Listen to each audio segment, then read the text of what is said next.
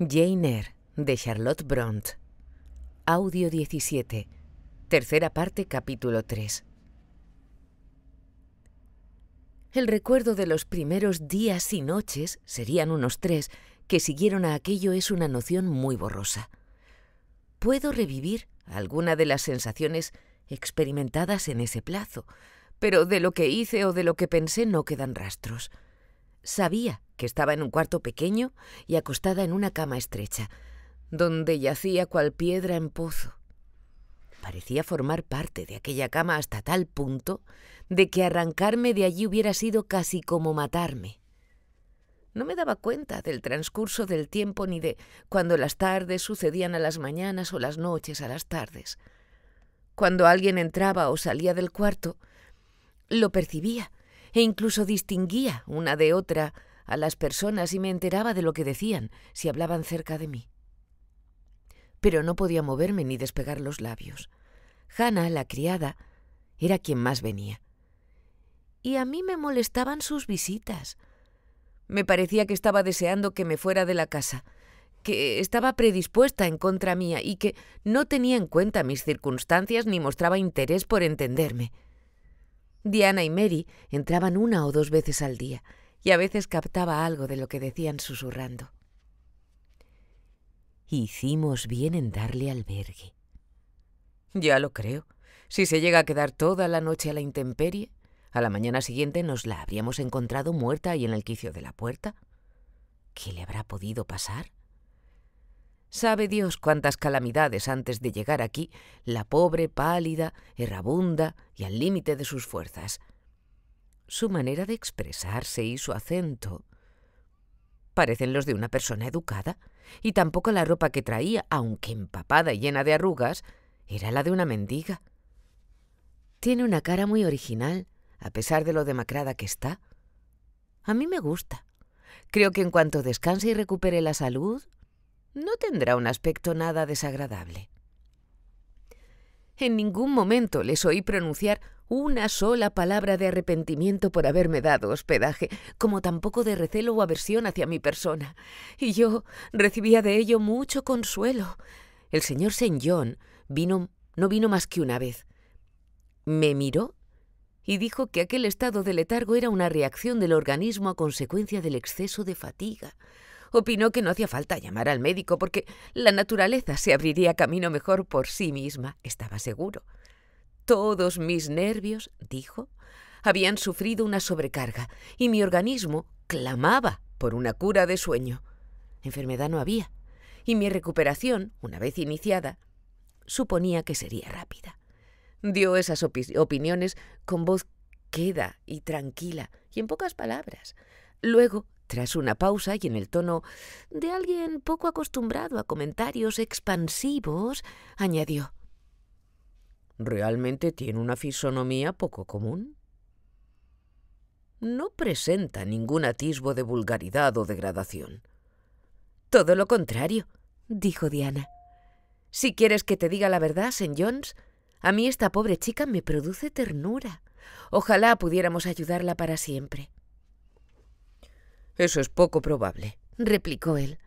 Acabaremos por enterarnos, enterarnos de que ha reñido con sus parientes y de que los ha abandonado en un rapto de irreflexión. Quizá consigamos que vuelva con ellos si no es muy terca, pero su fisonomía revela obstinación y no creo que sea de las que ceden. En fin, añadió tras una pausa. Parece sensata, pero de guapa no tiene nada. Está muy enferma, señor Enferma o no siempre será fea. La gracia y la armonía de la belleza brillan por su ausencia en esos rasgos. Al tercer día me encontraba mejor. Al cuarto ya podía hablar, moverme, incorporarme y darme la vuelta en la cama.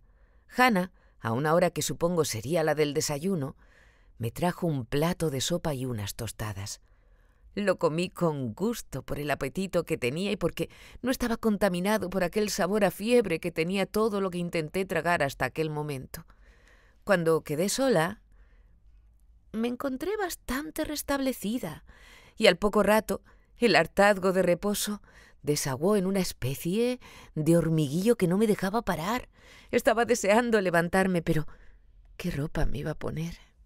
Solo tenía aquella indumentaria sucia y empapada de dormir en el suelo y haberme caído en el pantano. Me daba vergüenza presentarme ante mis bienhechores de semejante guisa. Pero ellos mismos me habían ahorrado tal humillación. Doblada sobre una silla que tenía cerca, vi todas mis prendas lavadas y planchadas. El vestido de seda negra colgaba de la pared limpio de toda huella de barro y de las arrugas ocasionadas por la lluvia, tan adecentado como los zapatos y las medias. Encontré en el cuarto todo lo necesario para lavarme, peinarme y cepillarme. Tras un esforzado proceso, porque tenía que pararme a cada momento para descansar, logré vestirme. La ropa se me había quedado grande a causa de mi desmejoramiento, pero Traté de disimularlo echándome un chal por encima, y una vez que di el visto bueno a mi aspecto, sin trazas del desorden o suciedad que tanto aborrecía, salí del cuarto y me deslicé, bien agarrada al pasamanos, por una escalera de piedra. Luego, tras recorrer un pasillo estrecho y de techo bajo, fui a parar a la cocina. Allí me cogió el calor de un fuego generoso y un aroma a pan reciente. Era Hannah quien lo estaba sacando del horno. Ya se sabe que los prejuicios son muy difíciles de arrancar de algunos corazones cuyo suelo no ha sido abonado por la educación, crecen y arraigan allí como la mala hierba entre las piedras. Pero Hannah, que al principio se había mostrado declaradamente rígida y fría conmigo y luego un poco menos, cuando me vio entrar en la cocina bien aseada y vestida con pulcritud, incluso me dedicó una sonrisa. ¿Ya levantada? dijo. Pues eso es que se encuentra mejor. Siéntese aquí junto a la chimenea si quiere. Suele ser mi sitio. Señaló una mecedora y me senté. Hanna se afanaba de acá para allá y de vez en cuando me observaba de reojo. De repente, cuando estaba sacando unos bollos del horno, se volvió hacia mí y me preguntó sin más rodeos. Había pedido limosna otras veces antes de llegar a la puerta de esta casa. En un primer momento me sulfuró aquella pregunta, pero luego, considerando que la indagación estaba fuera de lugar, que la indignación estaba fuera de lugar, ya que efectivamente me presenté ante aquellas puertas con trazas de mendiga, le contesté serenamente, pero acentuando el tono de firmeza. Se equivoca al tomarme por una mendiga. Soy tan pordiosera como usted o sus señoritas. No entiendo, dijo tras una pausa. Por lo que se ve usted no tiene ni casa ni una lata, ¿no? No tener ni casa ni una lata, supongo que quiere decir dinero, no convierten a una persona en mendigo, tal como usted entiende esa palabra. ¿Es usted instruida? preguntó. ¿Lo soy? Y mucho. Pero no habrá estado interna en un colegio. Pues sí. Pasé ocho años en un internado. Abrió los ojos de par en par. ¿Y entonces? ¿Cómo no es capaz de ganarse el sustento? Me lo he ganado. Y espero volver poder volver a hacerlo pronto. ¿Qué va a hacer con esas grosellas? Le pregunté al ver que sacaba una cesta llena. Prepararlas para hacer una tarta. Déjeme que se las limpie. No, usted no tiene por qué hacer nada. Pues yo creo al revés que tengo que hacer algo. Démelas, por favor. Consintió en ello, y hasta me trajo un paño limpio para que lo extendiera sobre mi regazo. Para que no se ensucie la falda, dijo, porque se nota, porque se nota por sus manos que no tiene costumbre de trabajar como criada. ¿Es modista, por casualidad? No, no acertado. Pero qué más da lo que sea o haya sido. No se devane más los sesos por mi culpa. Mejor será que me diga el nombre de la casa donde estamos. Algunos la llaman Marsh End y otros Morehouse. ¿Y ese señor St. John vive aquí? No. Está pasando solo unos días. Vive en la parroquia de Morton. ¿Morton? ¿Esa aldea que hay a pocas millas de aquí? Esa misma. ¿Y qué hace él allí? Es el párroco. Eh, recordé la respuesta del ama de llaves cuando llegué a la rectoría preguntando por el párroco y me dijo que estaba fuera a causa de la muerte de su padre. Entonces, ¿esta era la casa de su padre? Sí, aquí vivía el viejo Rivers y antes su padre, y antes su abuelo y su bisabuelo. Es la casa de la familia. O sea, que él se llama St. John Rivers. Exactamente. St. John es su nombre de pila. ¿Y Diana y Mary son sus hermanas? ¿Se apellidan también Rivers? ¿También? Ya. Y el padre ha muerto. Sí. Hace tres semanas. Le dio una embolia. Pobre. ¿Y la madre? Murió hace muchos años. Son huérfanos. Veo que lleva usted muchos años en la casa. Treinta, ya ve. A los tres los he criado yo. Por algo será. Habrá sido fiel y honrada, y eso dice mucho a su favor. Pero a mí, en cambio, me ha llamado por diosera. Volvió, volvió a mirarme con ojos de asombro. Le he juzgado mal. Perdone mi error, dijo. Pero es que anda por ahí suelto mucho maleante. ¿Me perdona? Sí, aunque continué más bien seria. Quiso echarme a la calle en una noche tan mala que hasta a un perro se le abriría la puerta. Fui muy dura, lo reconozco, pero ¿qué iba a hacer? Era más en las niñas que en mí, en lo que pensaba. Las pobres no tienen a nadie que vele por ellas más que a su Jana. A veces me pongo de uñas, exagero. Me quedé callada y seria durante unos instantes. No debe pensar mal de mí, insistió. Pues mire, un poco mal sí pienso. Y le voy a explicar por qué. No tanto porque se negara a brindarme hospitalidad o porque me creyera una impostora. No tanto por eso como por el reproche que acaba de hacerme de no tener yo ni techo que me albergue ni una lata. Algunas de las personas más excelentes que han habitado este mundo fueron tan pobres como yo. Y si es cristiana, debe aprender a no mirar como un delito la ausencia de bienes materiales. No lo volveré a hacer, contestó. Es lo mismo que me dice el señor John, pero sepa que ahora ya la conozco a usted bien y me parece una gran persona, pero más decente. Procuro serlo. Y queda usted perdonada. Aquí está mi mano. Puso en la mía la suya, áspera y pringada de harina, mientras una sonrisa abierta iluminaba su cara de rasgos toscos. A partir de ese momento nos hicimos amigas. Quedó de manifiesto que a Hannah le encantaba darle a la lengua. Mientras yo limpiaba la fruta, no paró de contarme con todo detalle la historia de sus difuntos amos y de lo que ella llamaba su camada, para referirse a los tres jóvenes. Según sus informes, el viejo señor Rivers era un hombre sencillo, aunque de una familia bien ilustre, un caballero de pies a cabeza. Marchant pertenecía a los Rivers desde hacía doscientos años, una casa de solera, aunque pareciera humilde y pequeña comparada con la mansión que se había construido el señor Oliver en el valle de Morton. Pero ella se acordaba perfectamente del padre de Bill Oliver, un simple jornalero en la fábrica de agujas. En cambio, los Rivers ya eran caballeros en tiempos del rey Enrique, como constaba en los archivos de la iglesia de Morton, que podía consultar cualquiera.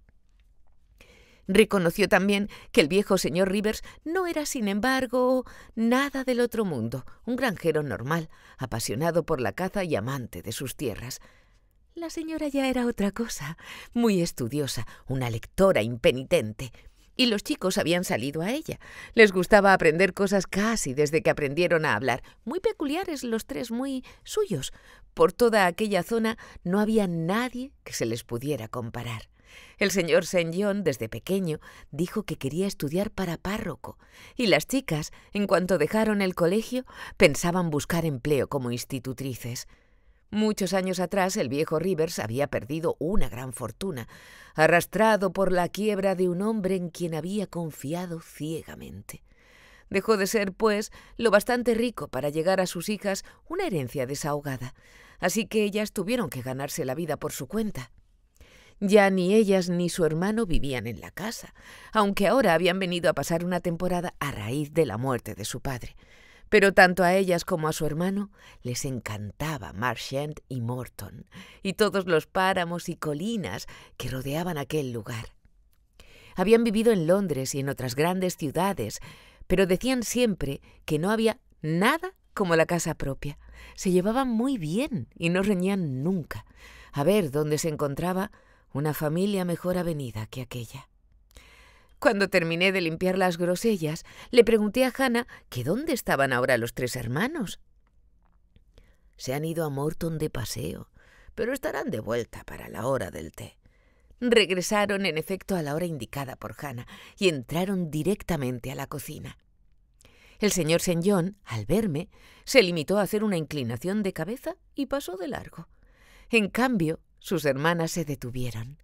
Mary expresó en pocas palabras, aunque cariñosas y serenas, su contento por la mejoría que me había permitido levantarme y bajar. Diana me cogió una mano y movió la cabeza reprobadora. Tenía que haber esperado a que yo le diera permiso de bajar, dijo. Está muy pálida todavía y tan desmejorada, pobrecita mía. La voz de Diana me sonó a arrullo de paloma. Tenía unos ojos que me encantaba mirar cuando se cruzaban con los míos y todo su semblante emanaba atractivo. También el rostro de Mary traslucía inteligencia y era muy guapa pero su expresión era más contenida y sus modales, aunque amables, más distantes. Tanto su aspecto como su manera de hablar evidenciaban determinación y una cierta autoridad. Yo siempre, por tendencia natural, me he plegado gustosa a la voluntad de personas como ella cuando esa obediencia no va en contra de mis principios ni daña mi amor propio. ¿Y qué se le ha perdido a usted aquí? preguntó. Este no es lugar que le corresponde, no es el lugar que le corresponde. A veces Mary y yo bajamos a sentarnos un rato en la cocina, porque nos gusta sentirnos libres y nos permitimos cualquier informalidad, pero usted es nuestra invitada y donde tiene que estar es en el salón. Yo me encuentro aquí muy a gusto. ¿Cómo va a estar a gusto con Hannah dando vueltas todo el rato y salpicándola de harina? Además, el fuego es demasiado vivo para usted intervino Mary. Tienes razón, remachó su hermana. Anne sea obediente y venga con nosotras. Me ayudó a levantarme y sin soltarme de la mano, me condujo a una habitación del interior que tenía un sofá. Siéntese ahí, dijo indicándomelo y indicándomelo y acomodándome en él, mientras nosotras nos quitamos la ropa de calle y preparamos el té. Es otro privilegio del que disfrutamos en esta casa del páramo. Preparamos la comida cuando nos apetece, o cuando Hannah está ocupada en otras tareas de repostería, de lavado o de plancha. Cerró la puerta tras ella y me quedé a solas con el señor St. John, que estaba sentado enfrente de mí leyendo un libro o un periódico. Primero pasé revista a la habitación y luego me fijé en su ocupante. Era un saloncito amueblado con sencillez pero muy acogedor, donde reinaba el orden y la pulcritud. Las sillas, de estilo algo anticuado, estaban tapizadas de colores alegres y la mesa de nogal relucía como un espejo. Las paredes descoloridas estaban cubiertas por viejos anacrónicos retratos de hombres y mujeres ya no pertenecientes a este mundo. Había una vitrina con libros y un antiguo juego de té de porcelana. Adornos superfluos no se veían, ni tampoco ningún mueble moderno, a excepción, a excepción de dos costureros y una escribanía de señora en palisandro sobre una mesa lateral. Todo lo demás, incluidos cortinajes y alfombras, acusaban simultáneamente el deterioro del uso y la esmerada conservación. El señor John, tan inmóvil como los sombríos retratos de la pared, con los ojos fijos en la página que estaba leyendo y los labios sellados por el silencio, se prestó fácilmente a mi examen. Si se hubiera tratado de una estatua y no de un hombre, no me lo, no me lo habría puesto más fácil. Era joven, le calculé entre veintiocho y treinta años, alto y esbelto.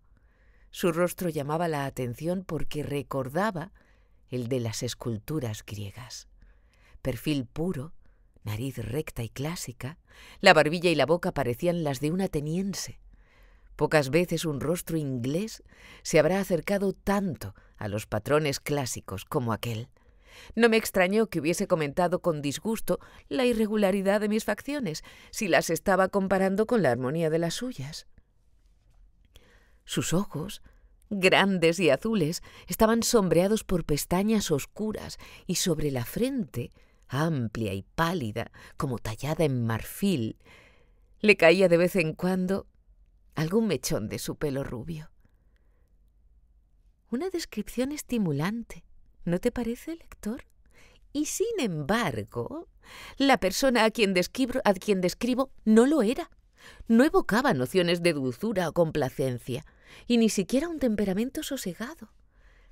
Aunque no se movía, había algo en las aletas de su nariz, en la frente y en el rictus de la boca, que interpreté como señal de algún desarreglo interior, cierta amalgama de inquietud, intransigencia y nerviosismo. No me dirigió la palabra, ni siquiera tampoco una mirada furtiva hasta que volvieron sus hermanas.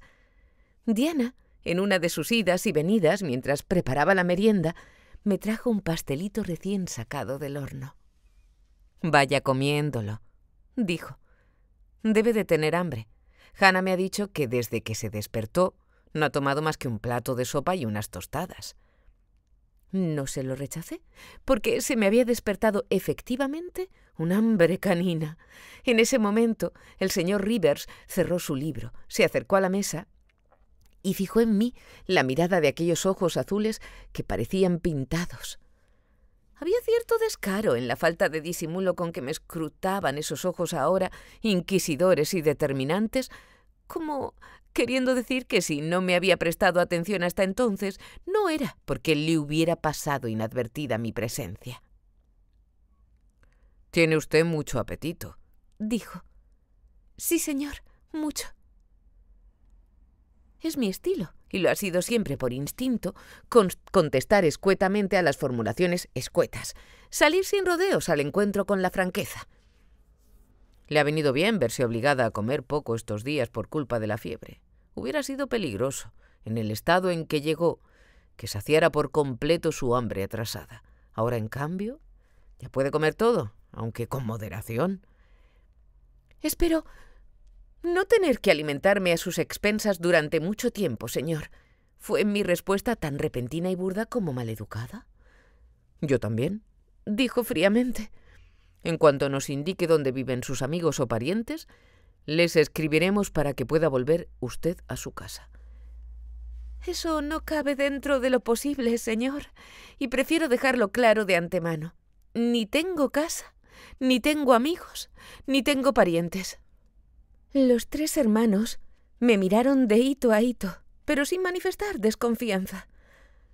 Había más curiosidad que recelo en sus ojos, especialmente en los de ellas. Los de Sejón, los de Señón, aunque muy claros en el sentido literal del término, metafóricamente hablando, eran bastante turbios y difíciles de interpretar. Parecía utilizarlos como instrumento de disección sobre los pensamientos ajenos más que para desvelar los suyos propios, y esa confabulación de avidez y cautela contribuía más a reprimir que a envalentonar. ¿Quiere usted decir que vive aislada? Preguntó. ¿Que no tiene relación con nadie? Con nadie. No estoy vinculada a ningún ser vivo, ni me asiste el derecho para reclamar asilo bajo ningún techo de Inglaterra. Qué situación tan rara a su edad. En aquel momento noté que dirigía la mirada hacia mis manos, cruzadas sobre la mesa. Al principio no entendí qué podía buscar en ellas, pero sus palabras aclararon inmediatamente la cuestión. ¿Ha estado casada alguna vez? ¿O es usted soltera? Diana se echó a reír y dijo Pero, St. John, ¿no te das cuenta de que tendrá diecisiete o dieciocho a lo sumo? Voy a cumplir diecinueve, dije, pero no, no estoy casada. Noté que una ola de rubor se me subía a la cara porque aquella alusión al matrimonio había removido en mí recuerdos inquietantes y amargos. Todos debieron de darse cuenta de mi turbación, pero mientras Diana y Mary me concedían un alivio al desviar la vista de mi encendido rostro, su hermano, imperturbable, persistió en taladrarme con su fría mirada, hasta que la emoción que me había arrebolado hizo brotar también algunas lágrimas. ¿Dónde vivía usted antes de llegar aquí? Siguió indagando. No la agobies John con tantas preguntas, le susurró Mary casi al oído. Pero él se inclinó hacia adelante sin dejar de acecharme, como si exigiera, a través de la mesa, una respuesta pronta. Los nombres del sitio donde vivía y de la persona con quien vivía constituyen mi secreto, repliqué concisa. Un secreto que, en mi opinión, comentó Diana, tiene usted todo el derecho del mundo a ocultarle a St. John y a cualquiera que le venga con preguntas.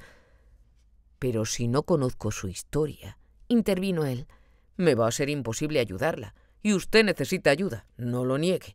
No lo niego, ni tampoco que la estoy buscando.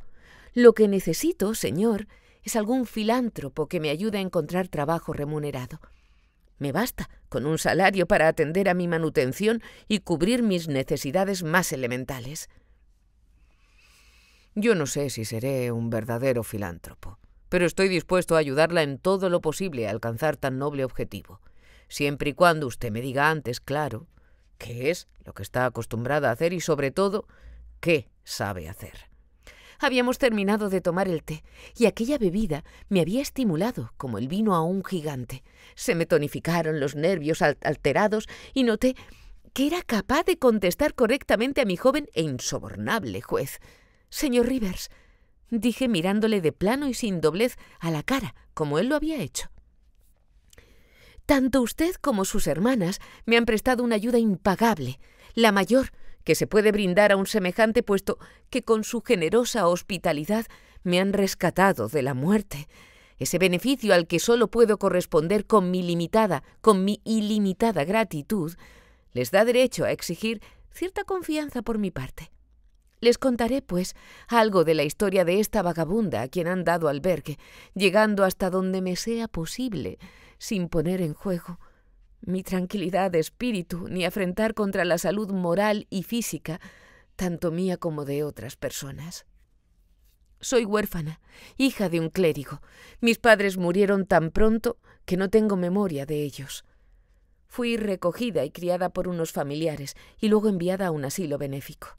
Incluso puedo decirles el nombre de aquella institución donde pasé seis años como alumna y dos como profesora. El orfanato Lockwood se llamaba en el condado de... No sé si habrán oído hablar de él, si habrá usted oído hablar de él, señor Rivers.